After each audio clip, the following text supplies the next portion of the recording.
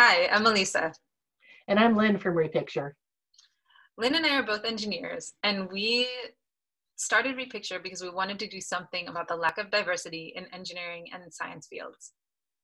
So I personally have been responsible for hiring hundreds of engineers and scientists. And so I've seen firsthand the pitfalls of our current hiring processes.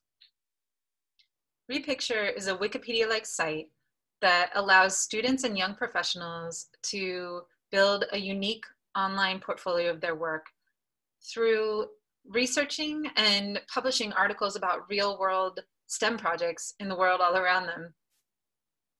So companies can sponsor contests, and the contests are for the best articles written in the technical area of interest to the company. And through that, the companies can find the best staff. Now, our program is virtual, so it can be done during this time of social distancing. And most important is companies are selecting job candidates, so students and early career professionals, based on their actual work, not based on what they look like. We are so excited to be part of the changes happening in hiring today. Thank you. Thanks.